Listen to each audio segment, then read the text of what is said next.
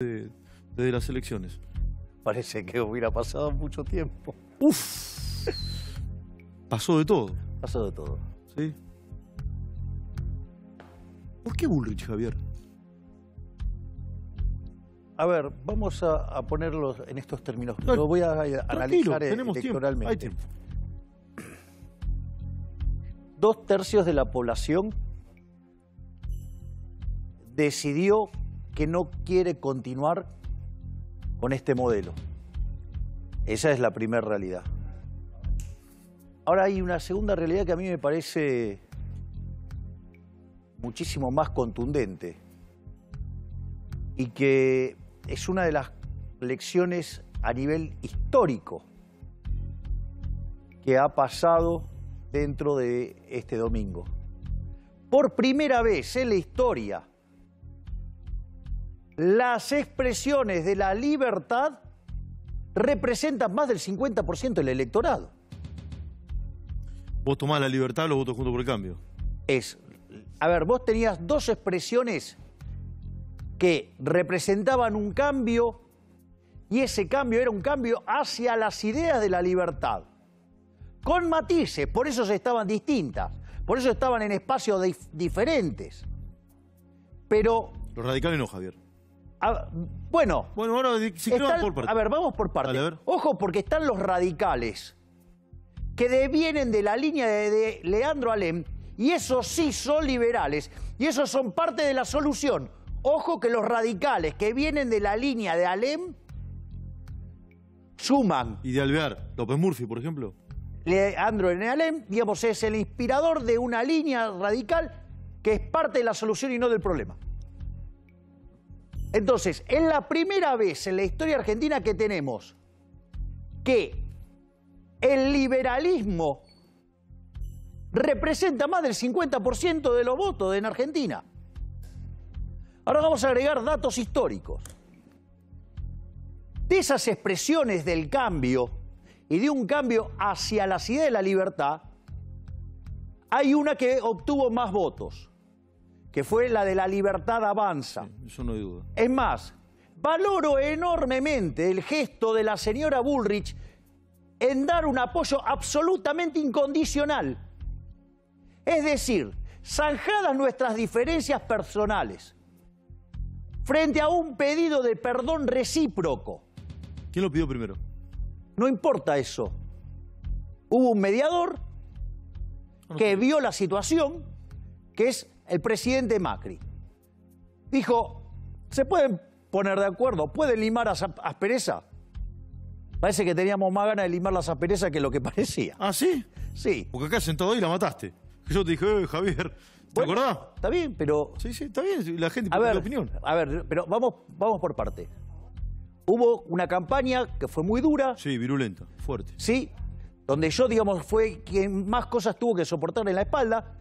Es cierto. Pero frente a la grandeza del discurso de la señora Bullrich el propio domingo, respecto de mantener la coherencia al cambio, y que dentro de esas expresiones de cambio se había elegido la de la libertad avanza, mi discurso del domingo es una respuesta a eso. A partir de ahí, creo, esto es una interpretación mía, A ver. El presidente Macri hace una lectura de esto y dice, vamos a conciliar. Sí. ¿Es verdad que Macri dice en esa charla, si no se pone de acuerdo, Massa gobierna ocho años? No, No, no, no es cierto. No. No lo plantea eso Macri. no lo, no lo planteó así. Dicho esto, hay una expresión del cambio que se impuso y entonces se parece mucho a la idea que originalmente yo planteé tiempo atrás, ¿te acordás? Les propongo crear un nuevo espacio, Yo lo dije eso el otro día. Fue mi editorial de la madrugada. propongo Sí. crear un nuevo espacio donde competimos y el que gana gobierna y el que pierde acompaña. Casi que te diría que es lo que, lo que ha ocurrido de, ok, las distintas realidades. Son los radicales y la reta en ese momento. Es un dato. Entonces, en ese contexto, en ese contexto, Bueno, hubo un interno, digamos, hubo todo un proceso electoral que tuvo ribetes complicados, pero el punto central es, ¿qué hacemos? ¿Ponemos nuestro ego por encima de la patria o dejamos el ego atrás y nos dedicamos a dar la pelea con el quiserismo? Porque siendo que los liberales hoy somos mayoría, ¿cómo le vamos a regalar el gobierno a los colectivistas? Con el riesgo que además se eternicen en el poder. Con el riesgo de que conviertan esto en Venezuela y después no los podés sacar. Entonces, ese es marco general. Ahora vamos al marco particular que tiene que ver con la libertad avanza. Nosotros sacamos 30% de votos. No solo que es la, la, cantidad de votos más grande que sacó el liberalismo en la historia en el siglo XX,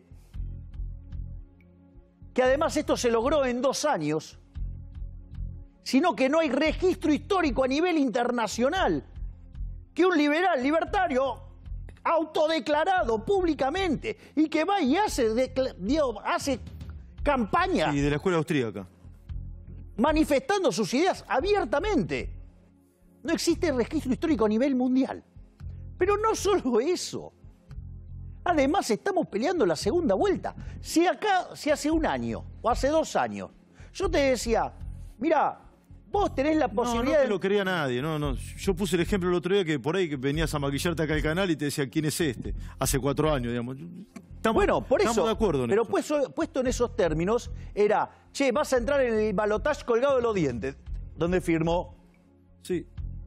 Entonces, me parece que estamos frente a una catarata de eventos históricos absolutamente inesperados. Y rifarlo por una cuestión de egos. Es una irresponsabilidad para no solo los argentinos del presente, sino los argentinos del futuro. a, ver, a, ver, hablé un poquito de los, proyectos. Tus ideas centrales, bueno, son unas cuantas, pero básicamente vos planteaste la libre competencia de moneda, ¿no? Eh, son, son varias cuestiones. Una es la reforma al Estado. Sí. A ver, si yo miro la historia argentina, la madre de todos los males es el Estado. Yo miro 122 años de historia porque todavía no cerró el 2023. De esos 122 años de historia, durante 112 hubo déficit fiscal. Si yo miro las 22 crisis que tuvo Argentina en ese mismo periodo con la metodología Cerro Meloni, hay 20 crisis de las 22 que tienen origen fiscal, que se reparten entre déficit fiscal alto y déficit fiscal escandalosamente alto. Estamos en el segundo escenario. No solo eso, no solo eso. Yo ahora te voy a mencionar las grandes crisis argentinas y vas a ver la secuencia con la cual estalla una crisis. Ahora, ahora me las nombras todas porque me, las has contado mucho y es súper interesante. Pero antes de eso, porque mucha gente está preguntando, yo sé que algún colega te lo dijo, el acuerdo o el apoyo de Bullrich. ¿Acuerdo o apoyo?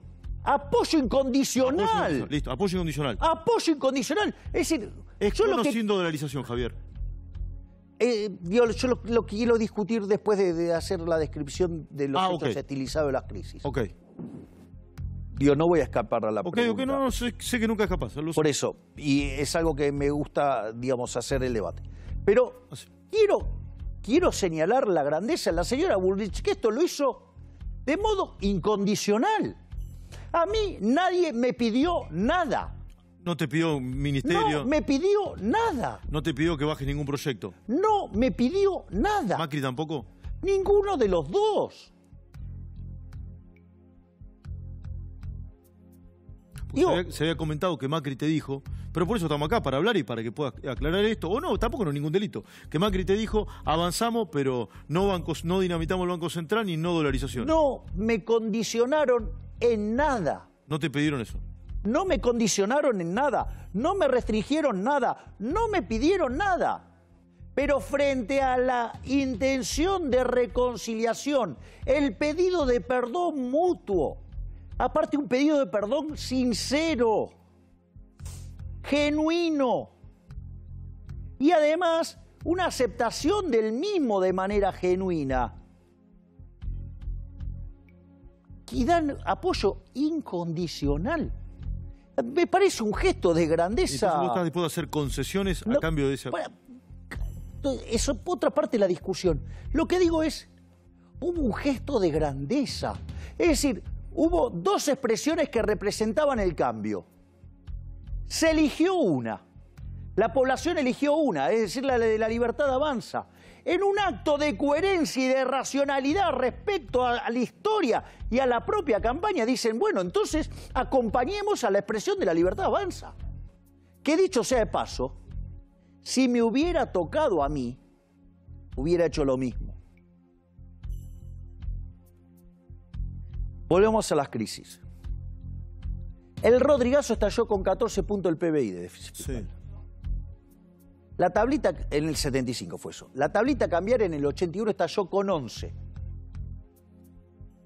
La hiperinflación de Alfonsín en el 89 estalló con 8.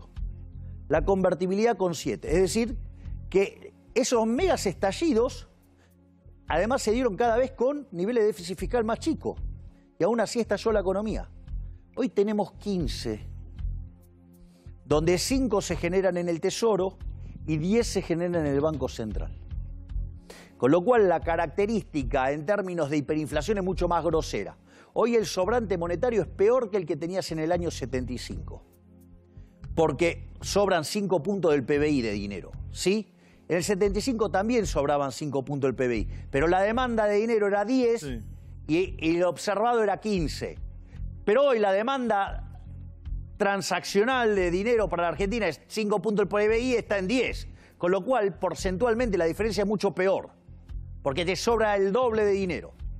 Como si todo eso fuera poco, tenés un desequilibrio en el Banco Central que la relación de pasivos remunerados, LELIX, contra base monetaria es peor que la que tenías previo a la hiperinflación de Alfonsín. Con lo cual, en términos monetarios, tenés un desastre monstruoso, pero con el agravante que los indicadores sociales, en especial pobreza e indigencia, estás peor que en el 2001. Bien. Es decir, estamos El frente... está claro. ¿Cuál es el proyecto para ese, ese es el punto. Ahora, ¿qué es lo que proponemos nosotros? Nosotros proponemos para salir de esto una solución liberal. La solución liberal son las que nosotros, para este gobierno, son las que llamamos la reforma de primera generación. La reforma de primera generación tiene cuatro pilares. Hay un pilar que es la reforma del Estado. La reforma del Estado consiste en reformar el Estado llevándolo a ocho ministerios, economía, infraestructura, capital humano, relaciones exteriores, Lo explicaste muchas veces. seguridad, defensa nacional, sí, Ministerio del Interior y Justicia, los ocho ministerios. Punto uno. Punto dos, una drástica reducción del gasto público, en especial de donde muerde la política. Es decir, el ajuste no lo paga la gente, el ajuste lo paga la política. No solo eso, sino que además eso trae como contraparte la posibilidad de bajar impuestos. Y eso además se complementa con una profunda agenda de desregulación. Reforma del Estado es Te eso. vengo siguiendo, el 3. Ese es el 2. No, eh, recién el punto uno, digo, la reforma del Estado. Punto dos, modernización del mercado laboral. Es decir, ir a un sistema de seguro de desempleo, ¿sí? Con profundización de la instrumentación financiera para potenciar además el mercado de capitales y darle mejores instrumentos a las personas Bien. para que puedan ahorrar de una manera más consistente. Una vez que sos competitivo fiscalmente, sos competitivo laboralmente, ahí estás en condiciones de abrir unilateralmente la economía. Esa es la tercera reforma. En paralelo a todo esto va la reforma monetaria, que tiene como destino final eliminar el Banco Central y que, como vos muy bien decís, es competencia de monedas. Cuando vos tomás, sigue en pie esto, Javier. Absolutamente, yo no me moví un ápice de No esto. te moviste nada de esto. Exacto. En el 90% de las cosas yo estoy de acuerdo con la agenda. Pero va- vamos a suponer que viene Macri, el ingeniero Macri, el Sí. presidente Macri, como le. Y dice, che, mira, Javier, esto no va a pasar por el Congreso. No vamos a ningún lado con esto. ¿Sos flexible y lo cambiás o no?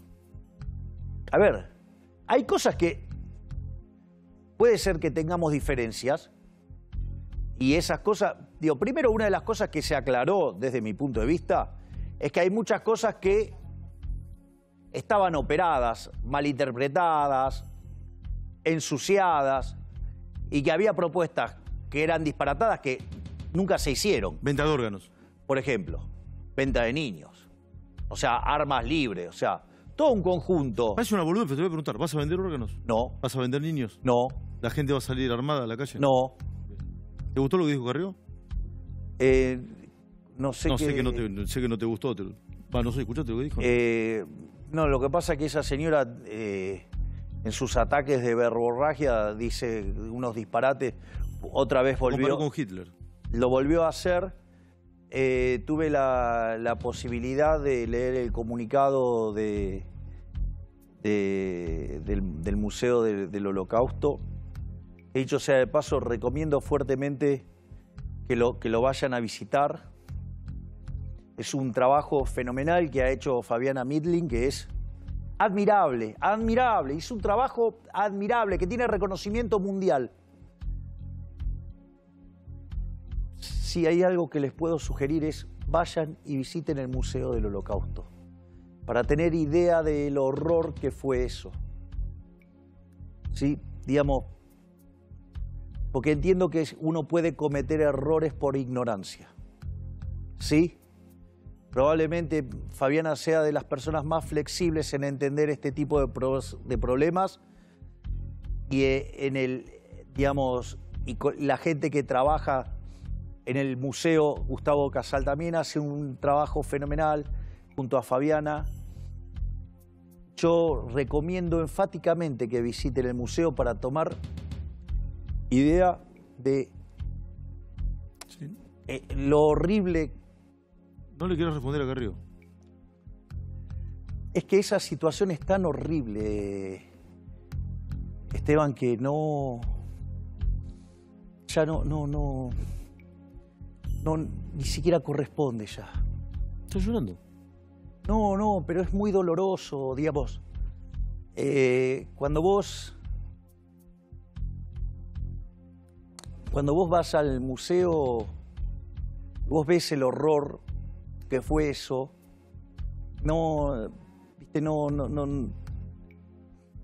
Yo, yo sé que vos no puedes interpretar esto, te has interpelado. ¿Por qué crees que Carrió te dice eso? Y otras personas también te lo han dicho. Bueno, debo estar equivocado en algo que hago. ¿Y en qué? No lo sé, pero deberé eh, tratar de entender por qué me acusan de algo tan aberrante. Como ser nazi.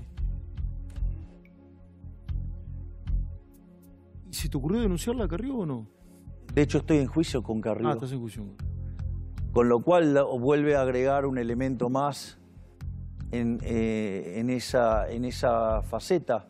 Pero si hay tanta gente que me hace esa acusación, probablemente debe, debe haber algo que yo también me tengo que estar equivocando, porque si no, ¿Te jode que alguno te haya dicho autoritario, por ejemplo? no? yo no creo ser autoritario, pero de vuelta, es una opinión. En la charla con, eh, en la charla con Macri, vuelvo, y vuelvo a los proyectos. ¿Macri en ningún momento te plantea formar parte del próximo gobierno si es que sos electo? Lo hicieron de modo incondicional. Incondicional. ¿Qué pasó con Barrio Nuevo, Javier? Nada, ahí me enteré que, que nos retiraba el apoyo por avanzar en. eh, por haber recibido el apoyo de, de Macri y la señora Bullrich. ¿Te pone bien, mal, te da lo mismo? Bueno, yo creí que su acercamiento era, digamos, hacia la reforma que estábamos proponiendo. Y, no era así. Y bueno, si ahora, digamos, lo, lo incomoda alguien que comparte la, la agenda del cambio, no sé, me llama un poco la atención. ¿Hablaste con él o no? No, pero, digamos, si es necesario, a- hablaré con él y veré por qué. Él tenía que fiscalizar, además de... Yo no estoy en esas cuestiones operativas, esa es la, la ¿Sabes que en redes sociales lo que más me dijeron, preguntarle a Milei esto? Hay dos cosas que mucha gente me pidió que te pregunte, gente que te quiere. Te robaron la elección. Yo le digo, no, hay, ni, no hay ni denuncia. Yo hablo con Guillermo Franco que hay algunas denuncias puntuales, pero ¿te robaron la elección? ¿Sabes lo que pasa? Que Mirá, digo, acá no se puede perder tiempo llorando. O sea, salís a la cancha y ganás o perdés. y, si no pudiste hacer todo lo que era necesario para defender los votos, y hay mucha, hay más de, de 5.000 denuncias hechas. Y hay muchísimos casos de urnas en las cuales tenemos cero votos. Pero vos al someterte a la regla lo aceptás, digamos, aunque te dé bronca. Y pero, eh, digo, de vuelta, si no podemos defender los votos, que digamos, ¿qué queremos gobernar? Entonces, si la gente no, no, no aporta su, su cuota de esfuerzo para acompañar el cambio, las cosas no se cambian. Eh, desde meter tres puteadas en la cuenta de Twitter. ¿eh? No, claro, claro. Ahora, eh, Javier, y yo sé que vos me decís un apoyo incondicional de Bullrich y, Macri, perdona que vuelvo con eso, pero eh, quiero Esteban, No, te creo, te creo, te creo. No me pidieron nada. No, no, pero voy a esto. Te facilitaron fiscales porque se habla mucho de este tema, de la fiscalización que puede ser eh, medular. De enfrente, enfrente tener la estructura más importante y la maquinaria más aceitada a ganar elecciones. Vos lo sabés. Bueno, sí, está bien, digamos, habrá que, que conversar, que si nos pueden dar una mano con eso, pero yo lo que quiero señalar es que esto, digamos, no, tiene nada que ver con lo que es la política tradicional. No, nadie me pidió nada. Te creo, te, pero te, creo, pero te, preguntaba de la fiscalización si te van a ayudar o no. Y bueno, digamos, veremos cómo seguimos avanzando. Nosotros, nosotros ahora estamos haciendo un, nuevo upgrade sobre la fiscalización. Y, bueno, y si necesitamos ayuda, pediremos ayuda y, si nos ayudan, bárbaro. O sea, me parece que estamos frente a la elección más importante de los últimos 100 años. Estamos frente a un evento histórico de que, una, que las expresiones vinculadas a la libertad sean mayoría. Entonces es un disparate entregarle a los colectivistas, estatistas, populistas, ¿sí? entregarles el poder, con el riesgo de que se eternicen. Yo lo planteé en el editorial, no sé si lo llegaste a escuchar, pero te lo quiero preguntar y dije, se lo voy a preguntar a mi ley.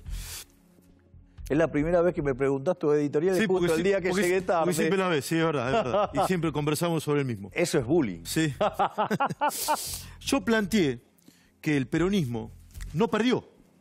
Es más, que ganó. Va a tener la primera minoría en la Cámara de Diputados, va a tener prácticamente el control del Senado, maneja la provincia de Buenos Aires, todo el cordón del conurbano. Sé que tiene complicaciones en las provincias, pero esto que es un núcleo duro lo tiene ya el peronismo. Esto no, esto no se define en la elección. Eso ya lo tiene. Las reformas estructurales que vos planteás. ¿Cómo hacer ahora con el Congreso ya definido? Sé que hoy hubo una reunión del bloque de diputados tuyo. ¿Cómo vas Pero nosotros, a ver, nosotros estamos tranquilos. Nosotros lo que estamos viendo es una reconfiguración del mapa político. Eso es cierto. Entonces, ya viste la primer reconfiguración de una de las expresiones mayoritarias que ya mutó. Sí, por lo menos desapareció, no sé en qué se va a transformar. ¿Vos decís que el PRO se va a la libertad avanza? Yo creo que va a haber algún tipo de convergencia hacia una nueva expresión que nuclea a aquellos que defienden la ideas de la libertad. Y no solo va a pasar de un lado, va a pasar del otro también.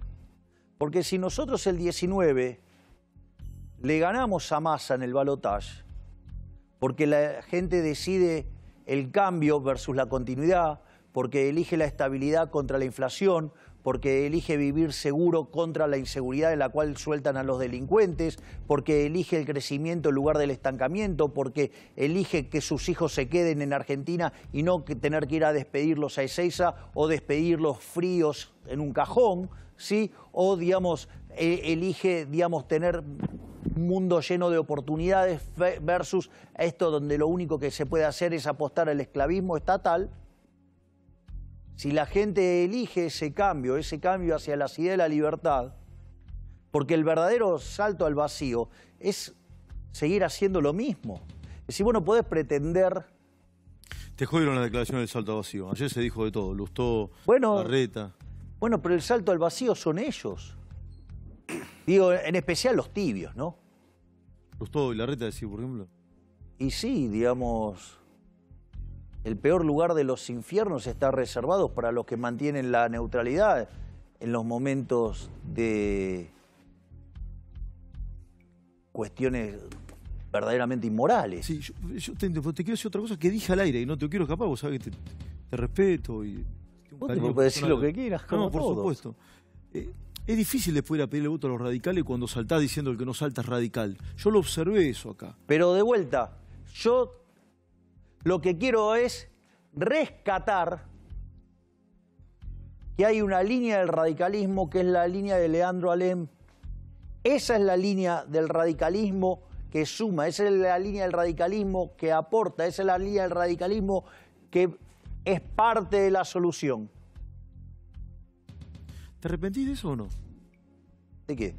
De haber hecho ese acto saltando o no. No,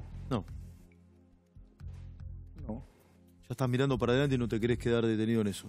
Pero de vuelta, ¿qué daño hice con el acto? Si el acto fue hermoso, la gente, fue una fiesta. Lo que pasa es que hay gente que eh, eh, cuando las... Vos sabés que muchas veces la gente hace críticas que en realidad incluye otra crítica. A ver. O sea, entonces se, se hacen determinadas críticas sobre determinadas cosas cuando en realidad la crítica subyacente es otra, una cosa mucho más miserable y se enmascara. De, de- entonces, digo, ¿cuál es el problema de que había 15.000 personas que desbordaban de alegría?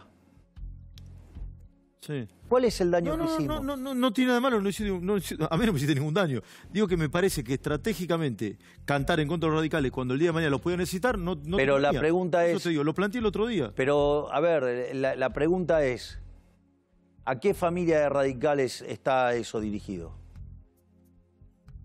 Lamentablemente, la línea buena del radicalismo, la línea de Leandro Alem, fue desplazada por la de Irigoyen Alfonsín, que es la que nos trajo la hiperinflación, entre otras cosas. Fue la que impulsó la socialdemocracia que nos hunde y que hace que este país sea miserable. Es decir, eh, digo, que de hecho no son muy distintos a los quiseristas. Por eso, digamos, adoptan posiciones que apoyan al quiserismo. Ahí le quiero abrir a los chicos que Carlito Bruno te quiere hacer preguntas también. El, yo planteé hoy que la- esta elección no sé si va a definir lo importante, sino lo urgente. Esto vi, esto leo del, del resultado del otro día. Pero ahí- perdón, pero tengo una disidencia. Sí, no, por, por, por eso eso lo, lo enriquecedor, disentir. La gente eligió por lo importante. El 53% de los argentinos decidió abrazar las ideas de la libertad. Abrazó las ideas del cambio, o sea, un cambio hacia la libertad. Eso es lo que eligió mayoritariamente la Argentina. Después esas expresiones de cambio hay unas más profundas y otras más moderadas, pero esa es la misma dirección matices, porque obviamente hay diferencia, pues si no, no hubiéramos ido separados. No, no, claramente, claramente. Ahora, ¿qué, qué, cuen- qué cuentas haces? Ahí voy con Carlito, arranco con Carlito y después siguen los chicos. ¿Qué, qué cuentas haces de la aritmética electoral de cara a la segunda vuelta? Hay un millón ochocientos mil votos de diferencia, ¿no? Co- ¿Correcto? Sí. Cu- Ahora es raro que todos votaron por el kirchnerismo. ¿Cómo todo votaron por- Y no, mayoritariamente, Sí, sí, sí. mayoritariamente votaron por el kirchnerismo. Es raro. ¿El kirchnerismo o el peronismo? No, es el kirchnerismo. Ese kirchnerismo. Massa es el kirchnerismo, es el ministro de Economía kirchnerismo. es el quiserismo. O sea, o, nos vamos a comer de vuelta la de Alberto Fernández. Vos, decís que el 36% votó al kirchnerismo. Sí. Entonces, algo, no es tu caso, porque vos venís de afuera. La oposición algo hizo mal, entonces. ¿Y a vos qué te parece? Mirá si habrá hecho la cosa mal, que apareció un outsider y los desplazó del segundo lugar. Tenían la elección ganada y aparece un outsider y se le mete la segunda vuelta. Y algo mal le hicieron. Pero todo lo que subió el quiserismo en la elección es lo que perdió Juntos por el Cambio. Es decir, ahí tenés la traición.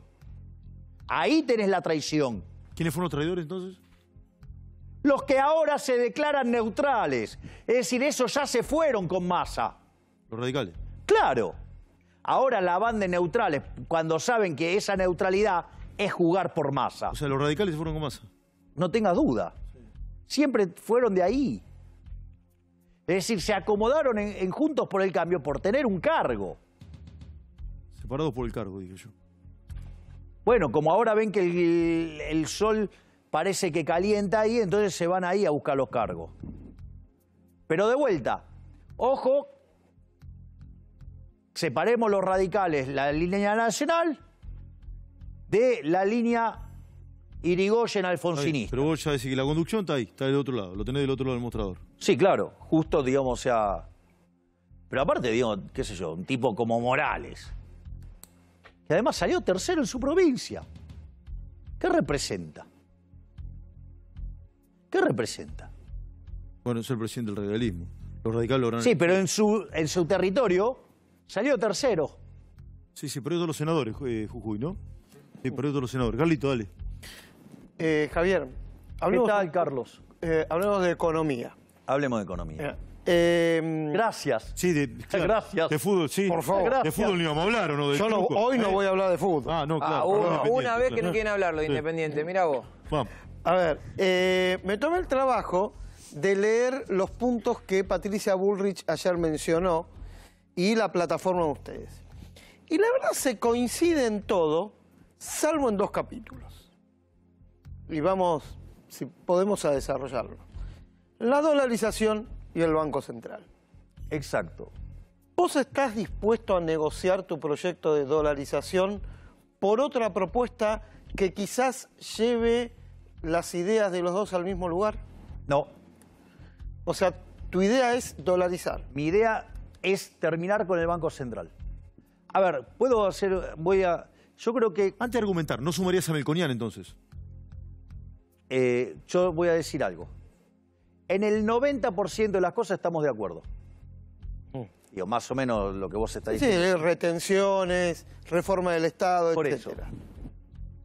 Por eso, baja de impuestos, baja de gasto, desregulación. Gasto público desregular, apertura, apertura Por eso. Hice ese laburo hoy. Salvo en estos dos. Por eso acá está la diferencia. Ahora bien, vos fíjate esto, el documento que presenta la señora Bullrich. Una de las cosas que dice es, no vamos a emitir más. Mm. Pregunta, si no vas a emitir más, ¿para qué quiere tener el Banco Central? Punto uno. Punto dos. Si no vas a emitir más, hay un problema de emisión endógena en este momento que se llama DELIX. Digamos que de largo plazo son emisión monetaria, es, emisión monetaria futura. De hecho, las expectativas de inflación en Argentina están marcadas más por ese problema monetario en el Banco Central que el propio problema del déficit. Porque de hecho, del déficit consolidado, dos tercios obedecen al Banco Central. Entonces, cuando agarran y hacen los análisis del tipo de cambio, ¿de qué, están hablando? No se están dando cuenta de todo el problema que hay de expectativas acerca del problema monetario que hay ahí adentro. Dicho esto, dicho esto, dicho esto, lo que es importante señalar es que si yo no voy a emitir más, y donde la tasa de interés es un mecanismo de crecimiento de la cantidad de dinero, por el impacto de las LELIX, quiere decir que lo primero que tenés que arreglar es la LELIX. Entonces, eso implica darle una solución a las LELIX. La mejor forma de resolver el problema de las LELIX el- y el problema, digamos, de la base monetaria y el dinero que la gente no quiere, ¿cuál es? Rescatar el balance del Banco Central. Es decir, en alguna moneda lo vas a hacer. ¿Cuál es la moneda que estamos acostumbrados todos a mirar? El Es dólar. el dólar. Bueno, rescatás dolarizando y después es competencia de moneda. Por lo tanto es, si yo empiezo a hilar fino, en ese sentido lo que vos te encontrás es que terminar con la emisión monetaria es terminar con las LELIX y no solo eso, sino que es Digo, ¿qué función tendría el Banco Central? Pues es mejor- mucho mejor que la cantidad de dinero la determine la gente, que va a ser mucho más eficiente que aún dejarla constante. Sí. Vamos a la instrumentación de eso, Javier. Sí. ¿Cómo? ¿Podemos pedir que termine el murmullo detrás de cámara? Bueno, chicos. Porque es muy difícil hablar con tanta gente hablando. eh, son temas muy delicados y veo que no cesan de hablar a pesar de mis cambios de tono para pedírselos de manera implícita. Bien, chicos, por favor. Hay un. Bueno. Eh, digo, convengamos que estamos con un nivel de bullicio no convencional para temas tan complejos como los que estamos tratando, y si yo me y si yo le erro, a mí me destrozan públicamente y nadie va a decir que atrás había un murmullo que me estaba matando. mira, ah, bueno, de- de- después fuera de aire te explico. No, yo entiendo lo que quieran, pero eh, veo gente desde que inicié que habla demasiado. Digamos, y es muy difícil temas tan complejos como murmullo en, en el oído. No son temas fáciles y además va la vida de 47 millones en esto. ¿Lo querés explicar de nuevo? No, digo, o sea, espero digo, que haya quedado bien explicado. A mí, a mí me Yo creo que hice un buen esfuerzo a pesar del ruido. A mí, a mí me quedó claro. Vamos a la instrumentación de eso ahora. ¿sí? Eh, es decir, tenés básicamente 90% de coincidencia, o hay 90% de coincidencia en eso. ¿Cómo lo instrumentás? Porque el Congreso ya está definido. La Libertad Avanza sacó un bloque interesante de 36 diputados. ¿sí? ¿Dije bien? ¿Cómo lo instrumentás? Y ocho senadores. Y ocho senadores, sí, correcto. En total vamos a ser 39 diputados. Hoy, hoy, eh, hoy no se fue ninguno, ¿no? No, No se te fue ningún diputado hoy, ¿no? no. De hecho, ayer tuvimos la reunión con diputados y senadores electos y nadie se fue. Nadie se fue. Son provinciales los que se fueron, entonces. Que, claro, son lo que, digamos, que igual creo que en la tarde de hoy eso se arregló. A nivel legislaturas. Bueno, sí, digamos, o sea, eh, gracias a un enorme trabajo de Carolina Píparo. Vuelvo entonces. ¿Cómo haces en el Congreso con este, con este, con este proyecto medular? De vuelta, yo lo voy a presentar, trataré de explicar, trataré de convencer sobre por qué creo que esta es la mejor alternativa. Yo sinceramente no creo en la independencia del Banco Central. Nosotros, durante el gobierno de Mauricio Macri, tuvimos el mejor Banco Central de la historia. Hasta una conferencia de prensa. Hasta la conferencia de prensa del 28 de diciembre del 2017, Marcos donde Peña. se lo llevaron puesto a Federico Sturzenegger. ¿Ya forma parte de tu equipo de trabajo? No, pero ¿Lo no, voy a, convocarías? pero no voy a escapar a la, a la pregunta o al punto. Yo tengo una excelente relación con Sturzenegger. No solo que tengo una excelente relación, lo considero un excelente ser humano, a pesar de que sea hincha de gimnasia. Sí. No. Bueno, por eso. Digo, mirá, mirá, mirá el corazón que tiene el bilardista, que, digamos, sino que además, sino que además, no solo que es un excelente ser humano, sino que además es un técnico excepcional de nivel internacional. O sea, lo convocarías. ¿Y a vos qué te parece? ¿Cómo no voy a convocar semejante coloso?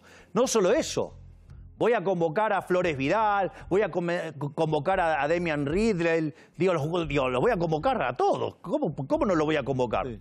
Carlito, seguí que a tu juego te llamaron porque Perdón, vos nombraste, que vos nombraste economista de ayer y preguntaste A. Guido Sanleris. Claro. Mira, hoy de hecho Guido sacó un tuit y él explicó que nadie lo, nadie lo llamó todavía. Mm.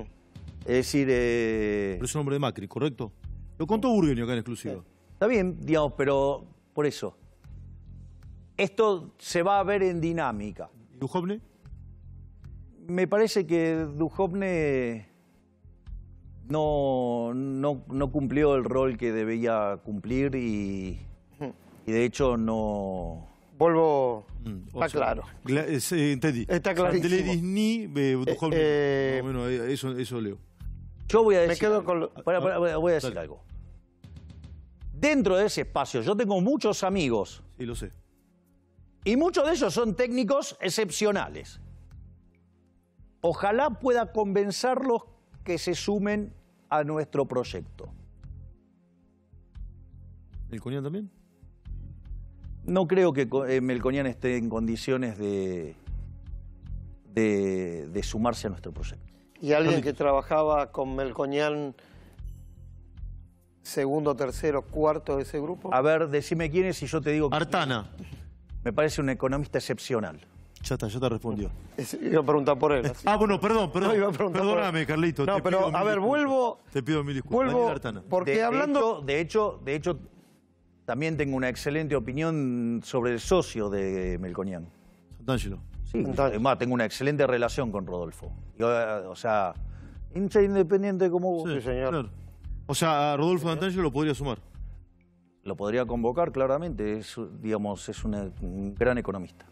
Sí, Carlito. Eh, hablando con todos ellos o con muchos de ellos, insisto, coinciden en muchísimas cosas con, la- con tu propuesta y creo, y esto es intuición, no información, que se sumarían si fueras más flexible con el tema dolarización. Es no negociable la eliminación del Banco Central. No, no negociable, listo, quedó clarísimo. Mm. Y un, perdón que insista, una ley de autonomía plena o algo parecido a lo de Y Perú. después sacan otra ley, viene un gobierno delincuente y saca otra ley y se la lleva puesta. O sea, lo dinamitas. Obvio. O sea, Metafóricamente, No, no, porque bueno, bueno, está bien, bueno, sabés bien. cómo, viste, Bueno, después empiezan bueno, con que... eh, O sea. Ocampos Lo cerrás. Emilio Campo va a ser el presidente del Banco Central que le va a cerrar la puerta definitivamente a esa máquina de empobrecimiento que fue el Banco Central. Lo voy a poner numéricamente para que entendamos la naturaleza del problema. El Banco, a ver, Argentina, ¿cuándo llegó a ser el país más rico del mundo? Hacia fines del siglo XIX. 1895, el PIB per cápita más alto del mundo. Y entró en el siglo XX siendo el país más rico del mundo. Es- Argentina disputaba el primer lugar del mundo con Estados Unidos. ¿Ok? Si Argentina era la tierra prometida. Dicho esto, de hecho era el segundo país que más inmigración recibía, siendo que era mucho más difícil ir a la Argentina que ir a Estados Unidos. Marco General. No solo eso. ¿Sabes cuánto era la ¿Sabes de qué fecha es el Banco Central? 1935. Por lo tanto, nosotros logramos todo esto sin, sin tener Banco Central. Previo a la existencia del Banco Central, la inflación era del 0,9% anual. O sea, menos del 1% anual. Cuando se crea el Banco Central, se crea mixto. Es un engendro derivado de Previs, Bosch y Pinedo, que nace de una estafa. Y esa estafa se materializa que en los 10 primeros años, aun cuando era mixto, la inflación en Argentina saltó al 6% anual promedio. Después viene Farrell y lo nacionaliza en el 46, Con Perón. porque además había que cerrarlo 40 años después, o sea, en el 75 había que cerrarlo. Se había creado por 40 años. Así está en, las- en el- en las sesiones del Congreso. De ahí, desde 1946 a 1991, momento en el cual ocurre el desprecio total por la moneda, el repudio por la moneda, Argentina tuvo una inflación promedio del 250% anual. Le quitó 13 ceros a la moneda, destrozó cinco signos monetarios. Llegó y ahí se vio, tuvo dos hiperinflaciones sin guerra. Se vio obligado frente al repudio de la moneda a ir a una ficción La convertibilidad. monetaria de que estabas dolarizado bajo la idea de la convertibilidad. Cuando vos tomás la convertibilidad, la inflación promedio fue del 9%. pero esa se concentró principalmente en el primer año y medio, en los primeros 20 meses. A partir de 1993 Argentina estaba entre los países con menos inflación del mundo. De hecho, en el año 1997 Argentina creció fuertemente y con deflación. Después el tequila. Con lo cual, digo, tampoco es un problema. Después, ¿qué hicieron? Cuando los políticos se quedaron sin financiamiento, volvieron a la sandada, volvieron al Banco Central, ¿qué nos dijeron? Esta vez va a ser diferente. A ver, primeros cuatro años del régimen K, inflación promedio cerca del 10%. Segundo periodo del régimen K, 20. Tercer periodo del régimen K, 30. Macri, 40. Hoy la inflación viene viajando en la punta al 300%. Si la tomo en alimentos, la punta viene arriba del 400 y en mayorista viene arriba del 600%. ¿Qué es diferente? Es una estafa. Es una estafa. Por eso digo, digo, yo no puedo claudicar frente a la bandera del Banco Central porque justamente para mí robar está mal. Lo que sí entiendo, lo que sí entiendo... Estás inflexible con este punto, digamos. Sí, porque robar está mal. Para mí robar está mal. nadie me explicó por qué robar está bien. Para mí robar está mal. Sí, es un delito, está tipificado en el Código Penal. Entonces, dicho esto, que los políticos le roben a los argentinos por lo menos 5 o 6 puntos del PBI, 25 mil millones de dólares por año, a mí me parece una aberración. Me parece una aberración que los políticos nos roben esa plata por año. Toda plata me parece que nos robe que está mal. Pero, pero eh, convengamos que, fíjate que es maravilloso el libro de, Ricardo Manuel Rojas, La inflación como delito. Dice, bueno, digo, acá el problema es que el Código Penal no tiene tipificado el robo del Banco Central, que son 5 puntos del PBI. ¿No? Entonces, dicho esto, hoy. Dicho esto, esta no es una bandera negociable, esta es una bandera que no se va a bajar de ninguna manera. Por eso es que, digamos, o sea, eh, eh, Emilio Campo en el Banco Central está más firme que rulo de estatua. ¿Está claro? Sí, ahora, ahora no, no, pero... No te lo va a votar, eh, Javier. Eso. yo creo que es una... Yo creo que hay un lugar para discutir esto. Ahí creo que hay un lugar, o sea, creo que hay un lugar, creo que hay un lugar, creo que hay espacio para discutirlo. ¿Cuál es el problema? El problema es que lo que vos tenés acá, y festejo que Carlos haga esta pregunta, porque lo que es, esto implica ir al corazón del problema. Ir al corazón del problema es, hay una discusión, no solo de índole moral, sino que hay una cuestión de discusión técnica entre dos escuelas liberales, que es la escuela de Chicago y la escuela austríaca. Y que eso yo creo que va a dar lugar a un debate en el cual todos vamos a salir sabiendo más, pero no solo eso, sino que además vamos a tener conciencia de que el Banco Central es el socialismo monetario y que es un mecanismo de estafa por el cual los políticos le roban a los argentinos de bien. O sea, yo estoy confiado en ese debate. Ese debate es un debate digno. Pero, ¿sabes lo que pasa? ¿Qué pasa? Cuando vos vas a la universidad, y ya digo, no estoy hablando de cuando vas a la UBA, vas a cualquier universidad privada te pasa lo mismo. Vos le preguntás a un economista, le preguntás quién es Ludwig von Mises, y el tipo cree que es el 9 de Holanda. Mm. ¿Me Y para nosotros los austríacos es, junto a Rothbard, uno de los dos mejores economistas de toda la historia de la humanidad. Y si tenemos que extendernos, lo ponemos a Hayek. ¿Me comprendés? Sí, yo te, entiendo, pero vuelvo, eh, a mí me apasiona, me encanta escucharte esto y he leído un, poco, un poco, no mucho de esto, me interesa, pero vuelvo a la, praxis, porque la teoría es súper interesante, la praxis parlamentaria. Pero la, la, praxis. Pero, pero, pero no pasa, Javier. Por Pero de vuelta, la praxis. La praxis. ¿Cómo nos fue teniendo Banco Central? ¿Bien o mal? No, no, estamos de acuerdo. Estábamos, para, para, estamos, estamos entre los países más ricos del mundo. Hoy estamos en la mitad de la tabla para abajo. ¿Qué, qué, discusión hay ahí? ¿Qué discusión hay ahí? pero vuelvo, vuelvo a la práctica. No la, pregunta es, pero, digo, a, ver, yo voy, ahora me voy a poner utilitarista. Sí. No es mi caso, pero ahora lo voy a hacer. La pregunta es, con lo que yo te conté en materia de historia de inflación, la pregunta es, digamos, ¿La locura es tener Banco Central o la locura es no querer tenerlo? Está todo bien, pero el peronismo y los radicales no te lo votan. Bueno, pero también es cierto que el 53% decidió abrazar la silla de la libertad. Sí, pero el Congreso quedó armado de otra manera y no te lo va a votar eso. Bueno, vamos a ver. Ahí, Javier, si me permitís, vuelvo a lo anterior.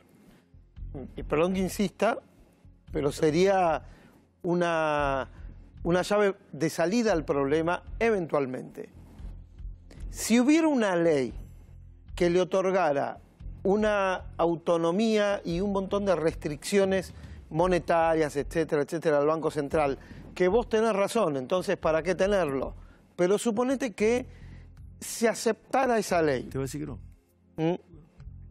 ¿Estaría dispuesto por lo menos a discutir ese tema? No, porque el Banco Central ahí se equivocaría autónomamente. A ver, voy a, voy a, voy a hacer una aplicación técnica del concepto de la fatal arrogancia. Sí. Vos para resolver el problema dinámico implícito en la ecuación de Bellman que resulta, Sí. vos deberías saber, entre otras cosas, las preferencias sobre todos los bienes pasados, presentes y futuros de todos los agentes de la economía, pasados, presentes y futuros. Es decir, con lo cual vos deberías conocer. Con lo cual eso implica que además tenés que conocer la utilidad marginal sobre cada uno de esos bienes, con lo cual vos tendrías que saber además cómo va a evolucionar la población en el tiempo, que eh, casi te diría que es el punto más fácil. Y deberías conocer las preferencias sobre bienes que pasaron, que existen y los que vendrán. Por lo tanto, además deberías conocer la preferencia intertemporal de cada uno de los agentes de la economía a lo largo del tiempo. Yo creo que si les pregunto a ustedes qué es la preferencia intertemporal, me van a decir que te recontra. ¿Con qué se come? Sí. Claro, ¿Con qué lo se primero- come? Sí. claro, que tiene que ver con tu decisión de si querés consumir hoy o mañana. Sí. No solo eso, Y sino no que... se puede planificar todo esto, eso me quiere decir. Ah, Para, no, pero para qué hay que saber todavía más cosas. A ver. Deberías también saber la productividad marginal del capital en una economía que tiene una estructura de capital heterogénea, pero no solo que pa- para que poder además calcular las tasas de amortización, pero tenés que, lo tenés que saber también a futuro. Por lo tanto, además tenés que también inferir el progreso tecnológico. Es decir, a vos se te tiene que estar ocurriendo hoy el progreso tecnológico mañana. O sea, vos- vos- digo, o sea, lo que quiero que tengan en cuenta que la única, y suponete que después de todo, digo, de toda esa cantidad de información que es Sí. imposible de tener, es imposible. El peronismo no te lo vota. después. Pará, pará, pará, porque vos tenés que ser omnisciente y omnipresente para eso. Pero además, cuando vos aprietes el botón, tenés que ser lo suficientemente omnipotente como para que cuando apretás el botón, el botón sale a donde, dispara a donde vos decís. Cosa que la política monetaria no se sabe. Viste que la política monetaria tiene un rezago entre 18 y 24 meses. Y porque vos le tirás y quizás sale a los 18, quizás sale a los 24 y que no se te caiga la demanda de dinero. Quiere decir que vos para poder resolver eso deberías ser omnisciente, omnipresente y omnipotente. O sea, deberías ser literalmente Dios. Me temo que por la naturaleza de los seres humanos no estamos en esa categoría. Y creer que estamos en la misma sería fatalmente Sí. arrogante. Bien, como decía Hayek, ¿no? Correcto. Exactamente. Bueno, pero espera, estamos de acuerdo, fenómeno. Me encantó, buenísimo. El peronismo y los radicales, que son mayoría, no te lo van a votar eso, Javier. seguiré trabajando en convencer a la gente que esa es una estafa y que si no sale ahora, saldrá mañana. Porque como mi compromiso es exterminar la inflación, la voy a exterminar. Si no, tendré que sobrereaccionar el ajuste fiscal y haré sufrir más a la clase política. La haré sufrir más con más ajuste. Sí. Entonces, o se flexibilizan un poco en lo monetario o meteremos un ajuste fiscal muchísimo más fuerte para sobrereaccionar la contracción monetaria. Va- Vamos a un ángulo. Yo le- Ahora, perdón, me pasó- ¿puedo sí. terminar Yo una le cosa preguntaba por el sobre plebiscito esto? también. Es, estoy- estoy- Este, pun- este Sí. punto, no digo ahora, no digo en la Este conversación que tuvieron hace poco, puede ser mucho antes. ¿Con Macri lo hablaste? ¿Este punto del Banco Central? No, no hemos hablado del tema del Banco Central con Macri. Él no te preguntó, él no te consultó. Hablaste de política, digamos. No, fue mucho más humana la charla. No, porque él nos juntó con la señora Bullrich como diciendo, dale. Porque la verdad es que si fuimos es porque teníamos ganas de reconciliar. Sí. Esa es la realidad. Y sí, ob- obvio. Digo, los gestos el domingo fueron claros, de un lado y del otro. ¿Quién te llamó primero? ¿Macri? El que coordinó esto se lo debemos a la grandeza del presidente Macri. Angulo, vamos. Javier, hace un ratito le dijiste a Esteban que si sos presidente de la nación no va a haber libre portación de armas. Lo que dije es otra cosa, ver. Martín. Sí. Perdón, ¿eh? Dale, dale. Perdón que haga Sí, el- sí, sí. Nosotros en nuestra propuesta lo que decimos, a lo que fue es negar la caricatura. Pero Argentina tiene una ley. Sí, claro. Y esa ley es una muy buena ley. Lo que hay que hacer es respetarla. Hoy esa ley está tan deformada que los únicos que pueden llevar armas son los delincuentes. ¿Puedo comprar un arma en el supermercado? No. Pero, la- a ver, a, a- a qué voy? Por ahí lo entendí mal yo. De la plataforma electoral de la Libertad Avanza en el punto de seguridad nacional y reforma judicial, uno de los ítems es sobre la tenencia de armas de fuego, planteamos la desregulación del mercado legal y proteger su uso. Pero está dentro, está dentro de la lógica de la ley que existe. Lo- la, la propuesta nuestra es la ley que existe. Es decir, nosotros no- no- ni siquiera queremos cambiar la ley. Lo único que queremos es que se aplique.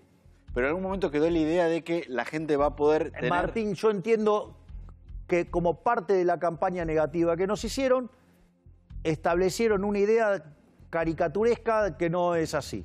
Yo te, voy a hacer un comentario. Mira, esto a mí me pasó. ¿Cómo me construyeron una crítica? Si hay, algo, si hay un autor que a mí me deslumbre, que me encanta leer, es Murray Newton Rothbard. De hecho, uno de mis hijitos de cuatro patas se llama Murray justamente por Murray Rothbard Anarcocapitalista estadounidense, ¿correcto? el creador del anarcocapitalismo. O sea, con lo cual tengo a Conan y los demás tienen nombre de economista, Murray Milton, Robert y Lucas. Dicho esto, tomaron un párrafo de, de Rothbard con el cual no estoy de acuerdo. Decir, los liberales no somos no pensamos en todo igual. No pensamos en todo igual. Tomaron un párrafo e hicieron una caricatura de ese párrafo y me endilgaron eso. No, bueno, porque Milei lee Rothbard y como Rothbard dijo esto, entonces Milei quiere hacer esto. Eso es falso. Yo te lo digo yo en primera persona. Nosotros lo que estamos proponiendo es que se respete la ley vigente. Ni siquiera hace falta cambiar nada. Para la gente que no sabe, ¿qué dice la ley vigente? Hay un conjunto de regulaciones por los cuales si vos querés tener armas, digo, tenés que superar un montón de pruebas para, digamos, acceder a tener un arma. O sea, hay test, digamos, varios. No, es un chiste llegar a tener un arma. O sea, pero esta idea de que la gente va a poder andar, puede comprar un arma, como decía Esteban, en un supermercado, Falso. flexibilizar los requisitos No, para estar falso, eso armado. es falso. No. No, de ninguna manera. Eh, te, te quiero llevar al, al apoyo de Bullrich. Vos dijiste que no fue un acuerdo. Mucha gente eh, empezó a seguirte por tu concepto de casta, ¿no? Esta idea de oponerte a la política tradicional que en los últimos años ha gobernado mal a la Argentina. Mucha gente criticó este apoyo de Bullrich o este acuerdo con Bullrich y empezó a decir, che, pero Javier empieza a ser casta. Javier empieza a tener los acuerdos tradicionales de la política, que es lo que no votamos. A No, esa eso- gente, no, ¿qué eso le es decís? falso. Pero Eso- en, en la idea de que la gente pueda llegar a tener. A ver, a ver, digo, yo voy a probar que eso es falso, pero como decía Jack, el destripador, vayamos por partes. Vamos por Sí. Eh, Junto por el cambio dijiste que era casta en su momento, Javi. Bueno, y se está y se está depurando. Y se está depurando y los colectivistas se están yendo con los colectivistas. De hecho, el propio domingo traicionaron a, pro- a los propios de Juntos por el Cambio y ya se fueron, ya se fueron con masa. Voy a ponerlo en estos términos. Una de las cosas que yo señalé en el discurso fue hacer qué cosa? Tabula rasa.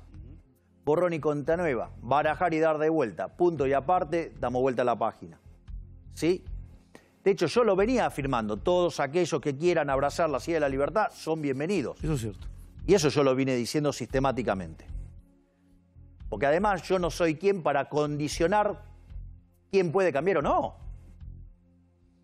Ahora, dicho esto, que me parece que es el paraguas correcto, ahora lo vamos a poner más violento, por decirlo de alguna manera, que es llevarlo al pragmatismo. La, cosa es esta. Frente a haber hecho la mejor elección que hizo las ideas de la libertad, el cambio hacia, hacia la libertad, que es más del 50% de los argentinos que quieren abrazar la ideas de la libertad. ¿Qué hacemos? Me radicalizo en mi posición, me peleo con todo el mundo, me dedico a exacerbar mis diferencias con los parecidos y le entrego el país a los quiseristas para que terminen haciendo de esto Venezuela. Para mí eso es una posición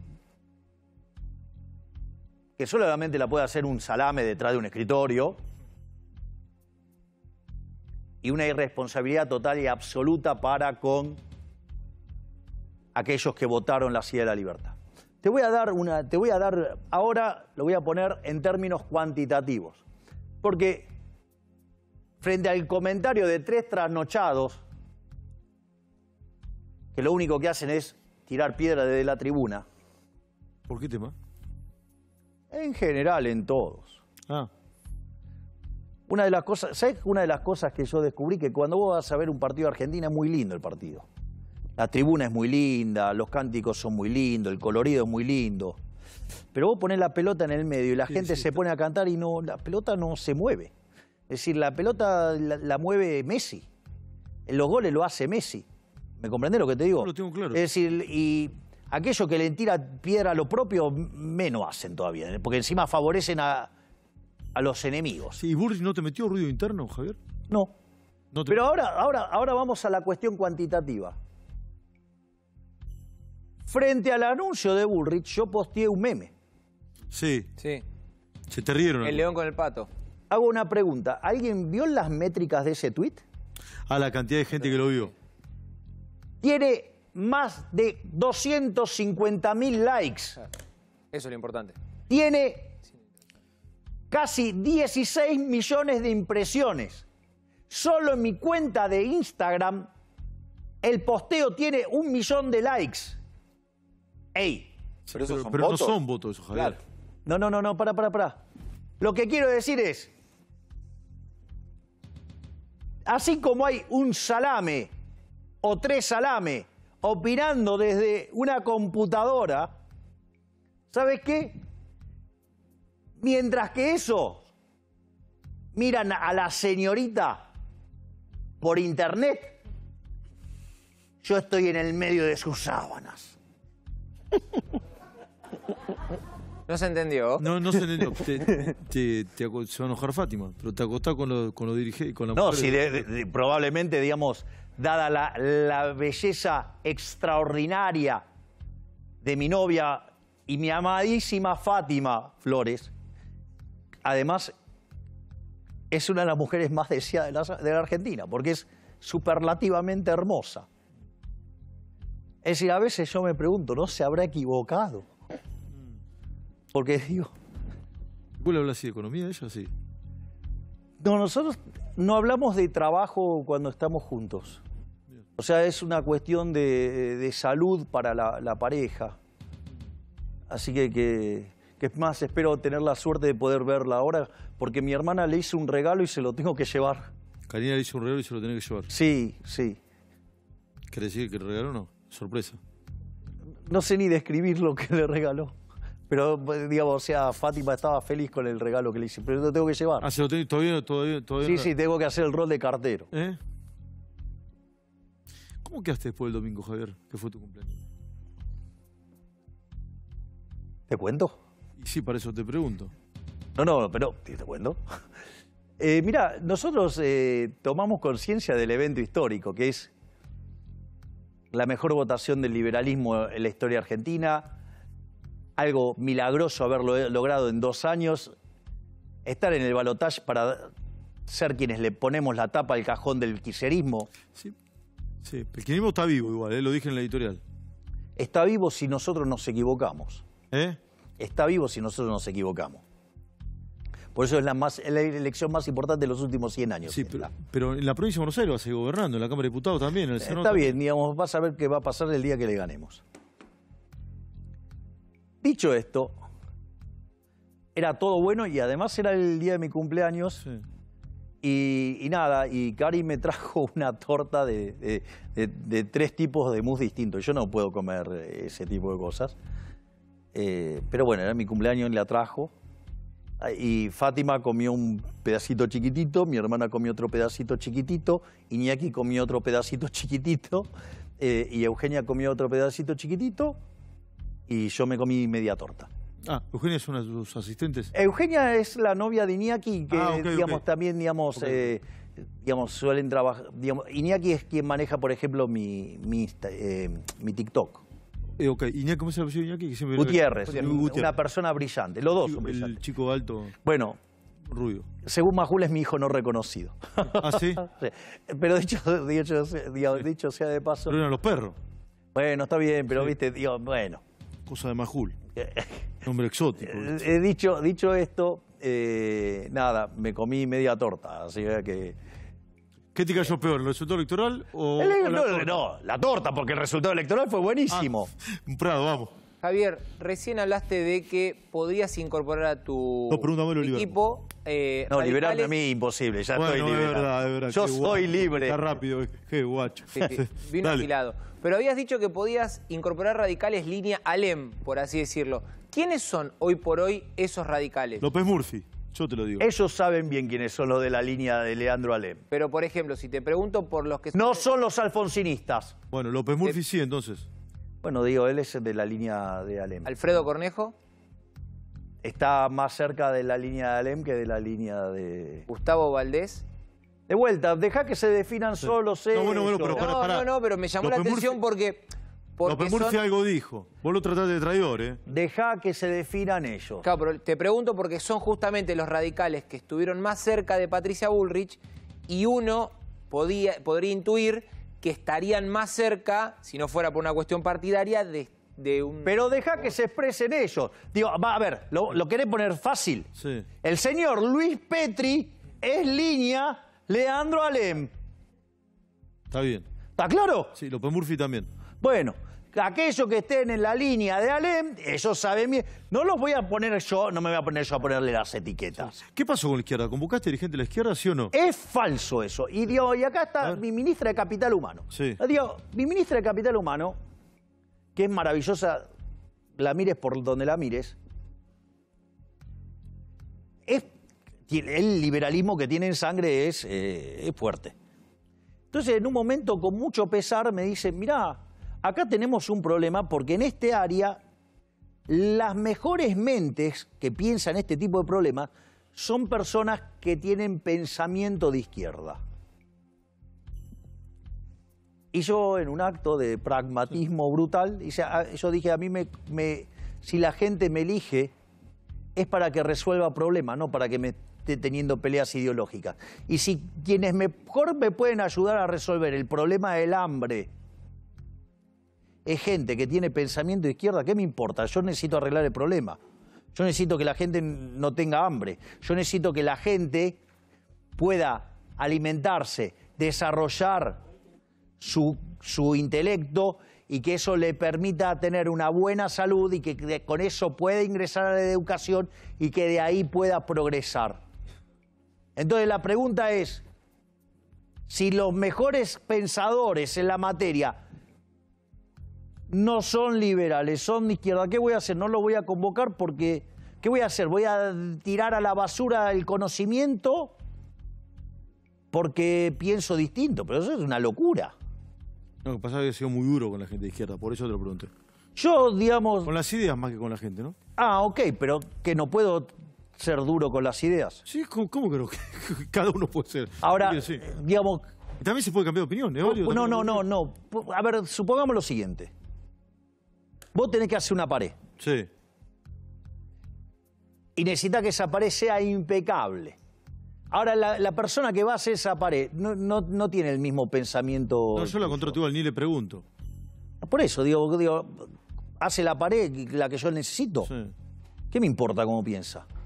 O sea, ese fue el criterio que, utilizamos con Sandra. sí. Y eso no quiere decir que convoqué a la izquierda. No llamaste a Breckman, digamos. No, lo que dije es convocar a los mejores. ¿Qué me importa que digo si son de Boca? Es lo mismo que me diga, ah, no, pero es de River. ¿Qué me importa? O, digo, o es de Independiente, como burgueño. ¿Y con Que pre- que prestigiaría el gabinete. ¿Llamarías al Papa? Para escuchar, no, para que. de- de- redondea, redondea, Sí. redondea, dale. Digo, escúchame, estoy diciendo que lo convocaría a Sturzenegger, siendo que es de gimnasia. Sí, claro, tenés razón. ¿No? ¿Al- ¿Y al Papa lo llamarías? A ver, yo en esta he sido muy claro. Yo dije que estamos dispuestos de recibir al Papa en la Argentina. Se lo va a recibir con los honores propios de un jefe de Estado. Pero además, con el reconocimiento que es el jefe espiritual de los católicos, no solo a nivel mundial, sino que en Argentina es el culto que más seguidores tiene. ¿Cómo no lo voy a recibir y cómo no lo voy a recibir con honores? ¿Hablaste con Massa después del, del resultado? ¿Lo llamaste? ¿A- ¿Algo o no? No, No, no, por eso llamaba para felicitarlo, ¿no? no. No, no, porque... No, digo, ¿cómo voy a felicitar a los que van a meter a No, los no, que, bueno, pero... los que son parte de los que quieren hundir al país? sac- Espera, ¿sabes por qué te lo pregunto? Porque cuando vos ganaste las pasos, yo te pregunté, te llamó y me dijiste, el único que me llamó fue Macri. Yo dije, che, qué mal. El otro lo tenía que haber llamado. Ahora ganó Massa. Lo sacó más voto. No, no, no hablaste, no lo llamaste. Sacó más votos. Sí. Bueno, hasta- ganó el otro día, digamos. Bueno, Hay un partido más. es una carrera en tres Es verdad, etapas. es verdad. O sea, son una secuencia de tres. Sí. Son tres días. El primer día fueron las pasos, el segundo fueron las generales, el tercer día en el que se va a definir todo es el 19 de ¿Y noviembre. hay penales o no? Estamos en penales. Estos son penales. Vos decís que están en, vos decís que están en penales. Estamos en los penales. Pero en el tercer día es cuando se define. ¿Puedo? Sí, sí, lo último y lo despido. Sí. Me echó. Eh, no, Me no, echó. por Dios, vos se va. Lo despido. ¿Cómo te voy a echar? No, Lo Yo no estoy despido. en condiciones No, no, de es echar. decir, Además que pagar afuera. mucho ahora para echar a alguien, no sé. Hay mucho, yo no tengo plata. En, en números redondos, Massa sacó de las pasos a las generales 3 millones, más 3 millones de votos más. Y vos cerca de 700, 800 Sí, mil. casi 800 Casi mil más.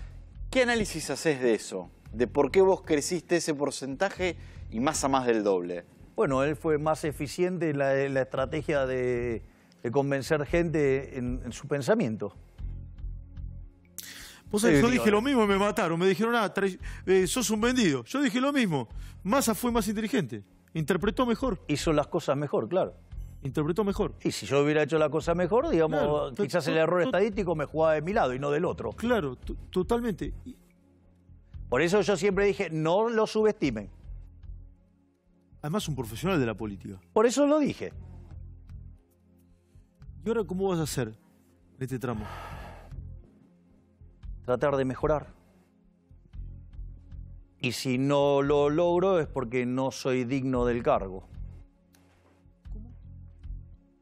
Y claro, porque si no logro convencer a la gente que el modelo de masa lleva a la decadencia, al hundimiento, al fracaso, con todas las cosas positivas que tiene para aportar el liberalismo, y no logro convencer a la gente, entonces digo, no soy la persona entonces. Sí, Javier, con esto, creo que estábamos hecho una entrevista. A mí me resulta muy, muy interesante. ¿Estuviste cómodo? Eh, sí, me, Sa- cu- me costó mucho el, el- Sí, bueno, hay, hay un tema. Yo te lo, conté, El- te lo conté por WhatsApp lo que, lo que, lo que pasaba. No, no, no, no quiero hacerlo público, un tema de respeto a los, eh, a los muchachos y los trabajadores. ¿Qué país se viene, Javier?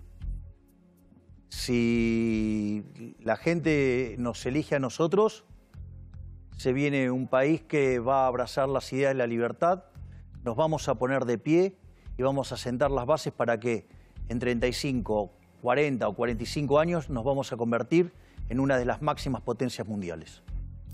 Gracias, Javier, por haber venido. Gracias Esteban, un placer enorme. Gracias por tu tiempo. Javier. No, por favor, ¿sí? gracias. Eh, bueno, esta entrevista, este, este momento televisivo, sí, durante largas, largos momentos, sí, fue lo más visto de la televisión argentina. Así que estamos muy, muy agradecidos, muy agradecidos por, eh, muy agradecidos por ello. Ahí estaba.